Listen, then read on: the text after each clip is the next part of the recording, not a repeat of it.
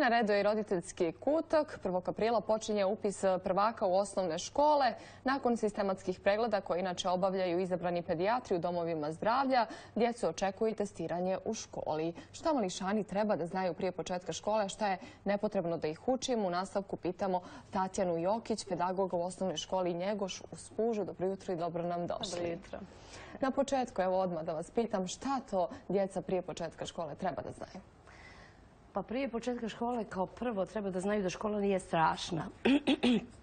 da, izvinjavam se, da škola nije strašna i da to nije nikakav bauk kako se onako priprema, pa s obzirom da znamo da je to na neki način stres, promjena sredine, promjena uslova, sve ono što se dešava sva priča koja prati tu, e, tu neku promjenu, pre svega i roditelji koji su pod većim uzbuđenjem nego deca. Tako da je najvažnije da se opuste u tom smislu da ta promjena iz jedne institucije u drugu instituciju, ako govorimo o deci koje su išle u vrtić, ovaj, da nije strašna, da, je, da, je to, da su to samo neki novi uslovi, da će nastaviti da igraju, što je jako važno, nastaviti da igraju sa nekim drugim i drugačijim igračkama na drugačiji način, pritom da će i učiti. Roditelji pre svega treba da pripreme svoju decu da će biti ovaj, da, da pripreme svoju decu da, za te neke nove uslove, ali e, da govore o školi pozitivno. Sa pozitivne strane u smislu da, da je škola mesto gde će sticati neke nove drugare, neka nova znanja, neke nove veštine i da bi trebalo da uživaju. Naravno, u svemu tome treba biti realan, ne treba ništa preidealizovati, ali treba biti realan. Osim te neke psihološke pripreme, ono što je potrebno, što mi na to neko testiranje, gde je u stvari prvi susret dece sa školom, upravo kontakt sa pedagogom ili psihologom u školi, gde testiramo zrelost učenika. Zapravo zrelost dece, mislimo na intelektualno, socijalnu i emocionalnu zrelost putem nekih testova koje ovaj, imamo. To je zapravo u Crnoj Gori se koristi Ravenov test. Uglavnom u većini škola gde ima psihologa, psiholozi koriste i, i test zrelosti. U suštini svi oni ispituju isto. Uh, ovaj, kako izgledaju ti testovi? Šta ih pitate konkretno djecu? Konkretno, znači prvo se vodi taj neki razgovor gde mi opuštamo atmosferu i proveravamo uopšte verbalne sposobnosti dece, njihovo ponašanje, prilagođenost u smislu u, smislu prepoznavanja odnosa u prostoru, orijentacije u prostoru, orijentacije u odnosu na sebe, ono, leva, desna strana, orijentacije na papiru. Također e, imaju i zadatak da um, da zapisuju, um, proveravamo i pamćenje kroz neke slike koje im dajemo, mhm. pa oni to uh, crtaju onako kako su zapamtili. Uh, grafomotoriku kroz crtež koji nacrtaju tu kod nas. Šta se može ovaj. saznati iz crteža djeteta? Pa ono što je za nas potrebno jeste da vidimo da, su, e, da, da je funkcionalnost šake mhm. odgovarajuća, znači da koriste šaku, da koriste te neke prave linije, e, da su prave linije ili blago valovite, da mogu da naprave kružiće, da sastave od tačke do tačke, da ne pritiskaju duboko. To je ono što je najvažnije. Sad neka dublja analiza za ovaj test nije potrebna.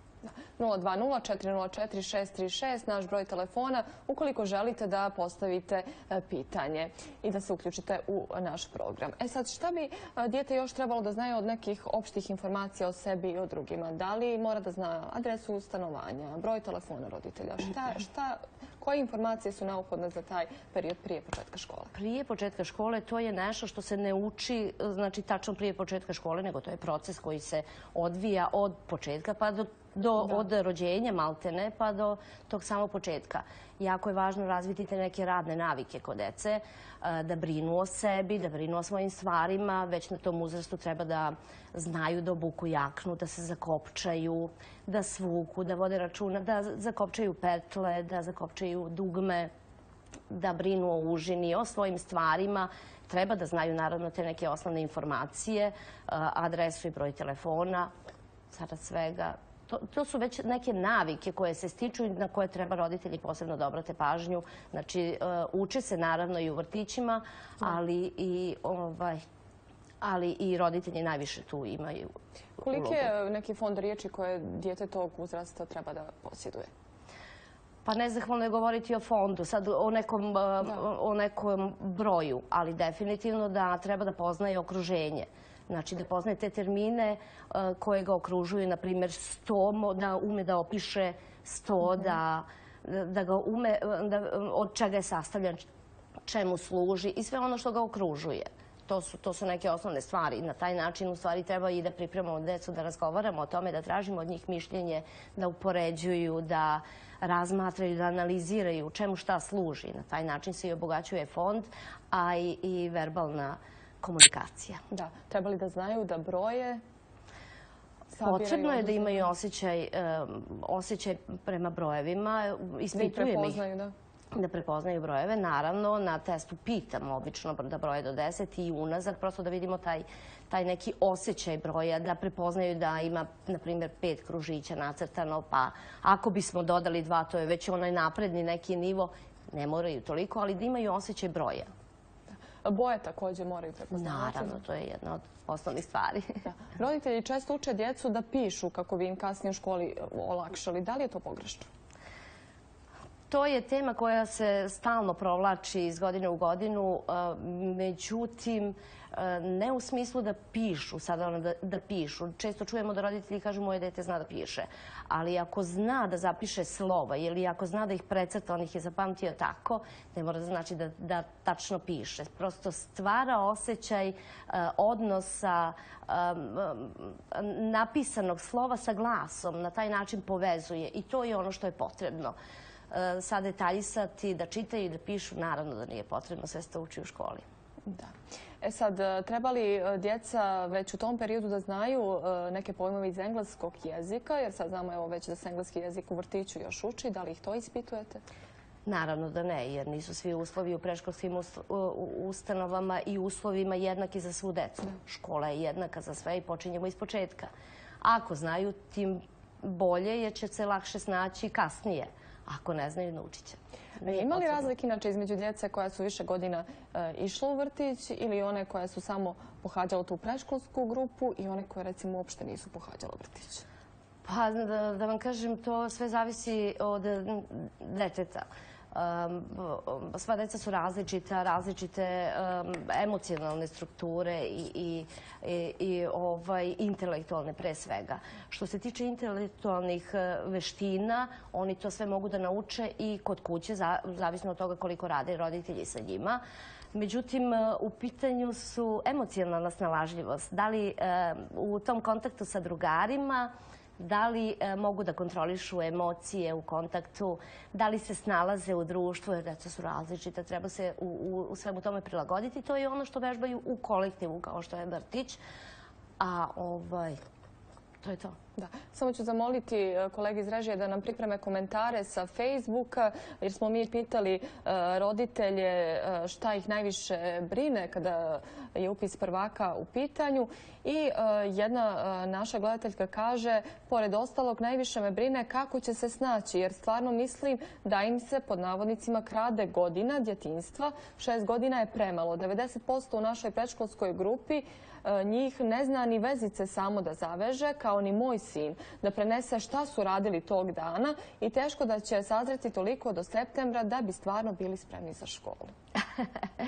Previše komplikovano, ali da vam kažem, e, roditelji se ponašaju prema e, deci previše zaštitnički i tu nastaje najveći problem treba od početka da ih puste da se snalaze, da pogreše, neka greše, tu treba biti strpljiv pre svega roditelja, onda i sama deca.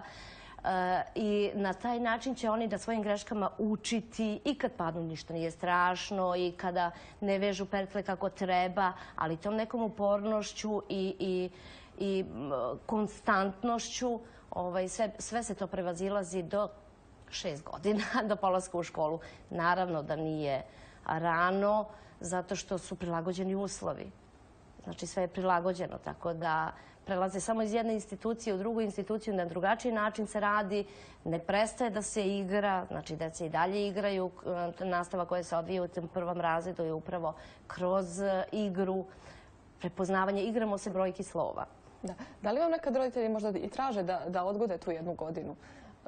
Da Bude naravno takvih e, situacija, međutim potrudimo se ako prepoznamo da dete ima tih potencijala da ga ovaj, osvestimo da je spremno za početak školovanja, ukoliko je spremno, ukoliko naravno nije, onda se dogovaramo za dalje. A ima li one djece koje su već sa nepunih šest godina spremne da krenu u školu?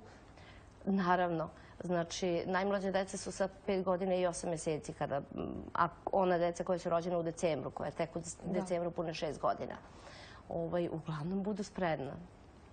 Da, da pročitam. Evo još neki kaže, naš mhm. gledatelj kada je najviše brine produženi boravak, ima li u vašoj školi e, ta opcija? U našoj školi ima opcija za prvi razred, ali nemaju sve škole te uslove. Nekako prave dogovore sa vrtićima. E sad sve to zavisi. Trudimo se, svaka škola se trudi koliko je moguće da se stvore uslovi, makar za taj prvi razred, jer računa se kasnije da deca mogu da budu i samostalna. Kaže naša gledateljka, brine nas ko će da ih uči kad ni oni nisu naučeni kako treba. Koji oni? Roditelji? E, pretpostavljam da, da, se ovdje prije misli na, nastavnike. Pa definitivno na nastavnike. Da, kaže kako će oni znati da im objasne e, jer ovo što uče sad je van svake pameti. Očigledno roditelji nisu baš zadovoljni ili ne, prihvataju ovakav način škola. Pa onda, onda je potrebno da se roditelji malo ipak više unesu u čitavu priču, da se informišu, da potraže savete kod pedagoga i psihologa, da se upoznaju sa učiteljem, da dobiju malo više informacija, na taj način će se opustiti i vidjeti da sve funkcioniše. To su bili eto, komentari naših pratilaca na Facebooku. šta kada dijete ne izgovara pravilno sve glasove prije početka škole? Pa to je ono što je jako važno. U početku je, je li to zastupljeno? Zastupljeno je dosta. Ovaj, u posljednje vrijeme imamo, ovaj, primijetili smo da je jako ovaj, zastupljeno. Pa znate kako, jako je važno da deca izgovore sve glasove jer to znači da će lakše savladavati sve gradivo. Ako ne, ako ne izgovaraju, onda će imati greške.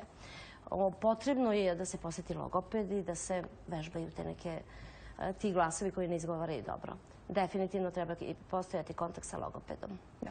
Ono što to već od pete godine mora da se onako ozbiljno priđe tom problemu.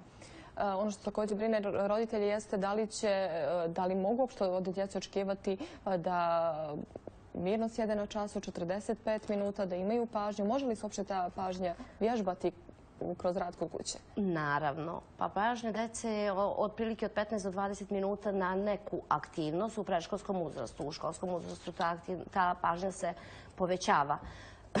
Što se tiče vežbanja kod kuće, naravno, ovaj, to su, to su neke igrice, neke igrice koje uz, to ovaj, omogućavaju roditeljima da kvalitetno provode vrijeme sa svojom decom. Upravo kroz te igrice.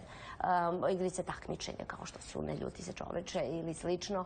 Onda imamo precrtavanje, bojanje, sve to negdje na neki način vežba pažnju kod dece. Ako one gube pažnju i ako je pažnja rasejana, treba ih bodriti, podržavati u tome. Ajde, vidi, vidiš da ti to dobro ide, ajmo da završimo, ne da se ostavi da pola, nego mora da se završi do kraja. Tako, to su te neke e, igrice. Jako važno je i čitanje. E, čitanje pričica koje žele deca da čuju, jer onda oni kroz to slušanje razvijaju pažnju i kroz to čitanje ovaj, da roditelji menja onako glas da mu bude što zanimljivije i na taj način je vežbanje pažnje. Tako postoji puno tih nekih aktivnosti i e, slagalice, Imamo nekog na telefonskoj liniji. Dobro jutro. Jutro i vama. Slušamo vas, izvolite. I vašoj gošći. Tema šta se dijete treba da zna prije polasku u školi. Kako da usvaja znanje, kako da se ponaša. Ja bih onda postavila pitanje dotičnoj personi, da li je kulturno za vrijeme trajanja emisije žvakati žvaku? Prijetno? Hvala vam uključenje, ali naša gošća ne žvaće žvaku. Mislim, vjerovatno Možda vam se učinilo. da, dobro. Šta biste vi ovako za sam kraj poručili roditeljima budućih prvaka? A, Samo da se opuste, da, da razgovaraju sa da, svojom, decom, da što više pričaju, da ih upoznaju sa okruženjem koje je e, tu i, i koje ih okružuje sa okolnostima, samo da pričaju sa njima. Eto, nadam se da su vas i čuli. Hvala vam mnogo na izdvojenom vremenu. Ali U nastavku